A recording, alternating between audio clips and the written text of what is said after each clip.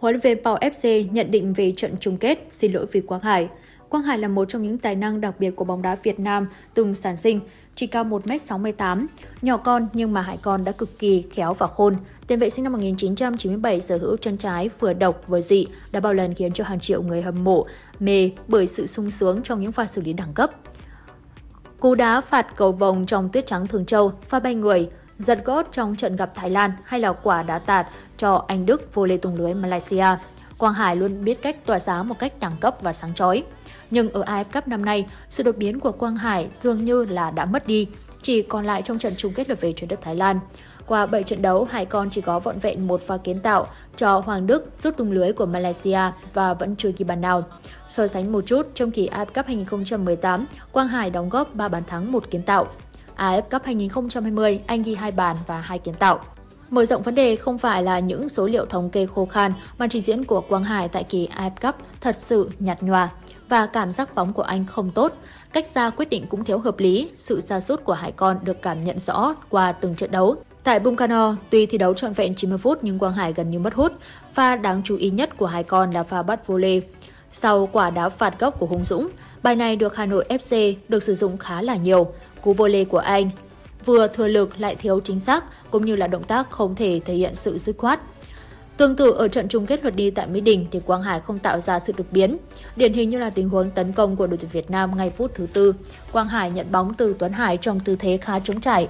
Tiền vệ này đã quyết định dứt điểm ở cự ly khoảng cách chừng 30 m và đã trách hẳn sang cánh trái thay vì đưa bóng cho Tiến Linh đang di chuyển khá thoáng. Kết quả là cú sút của Hải Con nhẹ như là một đường truyền và dễ dàng bị đối thủ bắt gọn. Kể cả Quang Hải rất điểm tốt trong pha bóng ấy, cơ hội thành bàn cũng không cao. Pha bóng này phản ánh rõ rệt cảm giác bóng không tốt lẫn quyết định lựa chọn phương án thiếu hợp lý của tiền vệ này. Từ khi bùng nổ tại Thường Châu, chưa bao giờ người hâm mộ chứng kiến hình ảnh Quang Hải nhợt nhạt như vậy. Trái ngược với những phát ngôn, đào tàu búa lớn hay là truyền thông, lộng ngôn với người đại diện truyền thông của Quang Hải, thực tế chứng minh thì Hải còn đang gặp khó khăn trong những bước xuất ngoại. Trước nhất, thời gian thi đấu của Quang Hải trong màu áo Pau FC ngày càng giảm sút. Điều đó cho thấy huấn luyện viên Tolot không còn sử dụng tiền vệ hàng đầu của bóng đá Việt Nam. Việc Hải Con được tạo điều kiện tham dự AF Cup cũng phần nào cho thấy vai trò của anh trong Pau FC. Chứng kiến màn thể hiện nhạt nhòa của cầu học trò chơi tại sân khấu của anh, huấn luyện viên Tolot của Pau FC cho biết, Thời gian qua đội bóng rất bận rộn, tuy nhiên tôi vẫn dành thời gian phải theo dõi các trận đấu của đội tuyển Việt Nam và Quang Hải. Thành thực mà nói thì tôi cũng có một chút thất vọng vì với khả năng của Quang Hải, anh có thể làm tốt hơn. Tôi không chắc vấn đề Hải đang gặp là gì, nhưng với cá nhân tôi, Hải vẫn chưa là chính mình trong giải đấu. Cậu ấy là cầu thủ của những trận đấu lớn, không ai có quyền nghi hoặc về điều đó. Ông cho biết, phong độ đáng lo ngại của Quang Hải cũng có thể nhìn rõ, chỉ ít tháng sang Pháp thì anh không còn là chính mình. Theo chuyên gia, có rất nhiều nguyên nhân. Việc không ra sân thi đấu đều đặn trong màu áo của Paul FC đồng nghĩa với việc anh dần mất đi cảm giác bóng. Điều đó thể hiện qua màn trình diễn của tiền vệ này. Không còn ai có thể nhận ra một Quang Hải tự tin, khôn khéo và tinh tế như trước đây. Trái bóng không dính chặt như keo, lấy vào cái chân trái siêu dị của Hải Con. Và chiếm bóng kiến tạo của Hoàng Đức là khoảng khắc rực rỡ hiếm hoi của Quang Hải trong giải đấu lần này. Suy cho cùng, Hải Con vẫn là một tài năng hiếm của bóng đá Việt Nam. Kỹ thuật và nhãn quan của cầu thủ này đã vượt xa tầm khu vực. Tuy nhiên, dẫu cho thiên về sự vượt trội thể chất đi chăng nữa, châu Âu vẫn là một sân chơi khốc liệt. Và điều quan trọng nhất là tài năng kiệt xuất đến đâu thì chúng ta vẫn cần phải ra chân để duy trì cảm giác bóng. Đó chính là thứ mà Quang Hải đang thiếu đi trong thời gian gần đây. Tất nhiên tiền vệ này thì còn rất trẻ và cơ hội vẫn đang rộng mở. Nếu như nhận được sự quan tâm đúng đắn từ những người siêu sắt thì chắc chắn anh sẽ sớm tìm lại phong độ. Nhưng vấn đề đó hãy nói ở sau. Hiện tại trước mắt thầy Park phải tìm cách đánh thức bản năng của ngôi sao hàng đầu Quang Hải.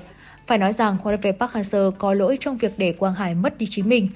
Bởi về cơ bản, Quang Hải không chơi tốt trong kỳ AFF Cup năm nay là điều được dự đoán từ trước. Lý do đơn giản, tiền vệ này thật khó đảm nhận được năng lực, thể lực dồi dào. Ông Park thực ra cũng đã hiểu điều này và liên tục tạo ra cơ hội cho Quang Hải thi đấu, tuy nhiên nó lại phản tác dụng. Bắt thuyền trưởng của đội tuyển Việt Nam bỏ Quang Hải là khó, nhưng lẽ ra ông Park cần phải cho học trò cưng hiểu rằng nếu không chơi tốt sẽ mất vị trí vào tay của người khác. Nhưng rốt cuộc thì ông Park đã không làm vậy. Lúc này chỉ hy vọng là bản lĩnh, sự tự tin vốn có của Quang Hải sẽ quay trở lại. Cục diện hiện tại của đội tuyển Việt Nam hiện tại đang có sự bất lợi cho thầy trò huấn luyện viên Park Hang-seo. Trong khi đó, đội tuyển Thái Lan dù đang nắm lợi thế nhưng phải tính toán nhiều hơn, suy nghĩ nhiều hơn. Thái Lan sẽ chơi tấn công hay là phòng thủ để bảo toàn lợi thế ưu thế mong manh có thể bị san lấp bất kỳ lúc nào và cơ hội vô địch của đội tuyển Việt Nam thì vẫn còn đó. Vấn đề là huấn luyện viên Park Hang-seo sẽ sử dụng cầu thủ nào ra sân cho mặt trận tấn công. Vẫn biết là đội tuyển Việt Nam sẽ chơi tất tay, song cần phải tính toán ở những thời điểm phù hợp và bung sức. Chúng ta có thể đánh phủi đầu hoặc đưa trận đấu vào thế giằng co. Tất nhiên là phải di chuyển cùng một lúc với mật độ thi đấu dày trong những ngày qua thì không cho phép các cầu thủ Việt Nam đủ thể lực để pressing trong suốt thời gian trận đấu. Nếu có bàn thắng sớm thì đội tuyển Việt Nam càng dễ đá, đồng thời lật lại thế cờ đẩy Thái Lan vào thế khó. Mục tiêu thắng 1-0 khả thi hơn là 3-3 hay 4-4 để vô địch. Ở trận lượt đi cho thấy khả năng tấn công của đội tuyển Việt Nam đã không phát huy tác dụng khi mà để cho đối thủ dễ bắt bay. Trong khi đó, Thái Lan đã khai thác tốt khoảng trống và thực tế khả năng kiểm soát tốt và làm chủ tuyến giữa của Thái Lan giúp họ có nhiều tình huống tấn công ở trung lộ hay. Đây cũng là một bài miếng quen thuộc của bóng đá xứ sở chùa vàng. Theo quan sát tại kỳ AF Cup 2022, hàng thủ của đội tuyển Thái Lan vẫn có nhiều hạn chế và lúng túng trước những pha xoay sở trung lộ. Khả năng tấn công của Thái Lan còn phụ thuộc rất nhiều vào cầu thủ Theathon Bumathan, nhưng cũng phải thừa nhận đội quân của đội bạn thì đều tốt, phối hợp nhịp nhàng. Bởi vậy, mong muốn kiểm soát bóng của đội tuyển Việt Nam trước Thái thì càng trở nên khó khăn, song chúng ta cần có một tiền vệ giàu sức chiến đấu. Trong khi đó, trên hàng công của đội tuyển Việt Nam cần một mẫu cầu thủ có tốc độ, kỹ thuật khéo léo. Và Phan Văn Đức hay Nguyễn Văn Toàn cũng là một phương án cần tính tới. Rút kinh nghiệm từ Malaysia không chỉ là cần ghi bàn mà đội tuyển Việt Nam cần phải ưu tiên cho mặt trận phòng ngự. Sau trận hòa 2-2 trên sân Mỹ Đình, chắc hẳn đội tuyển Việt Nam sẽ mổ xẻ và rút kinh nghiệm rất nhiều. Khó khăn đang chờ thầy trò huấn luyện Park Hang-seo và điều quan trọng là các cầu thủ Việt Nam cần nỗ lực nhiều hơn, quyết tâm hơn, khát khao chiến thắng và không từ bỏ mục tiêu. Trận đấu trên là một màn đấu trí đỉnh cao của ông Park và ông Poking, đồng thời cũng là đại chiến của nền bóng đá hai nước trong việc đi tìm vua của bóng đá Đông Nam Á trong thời điểm hiện tại.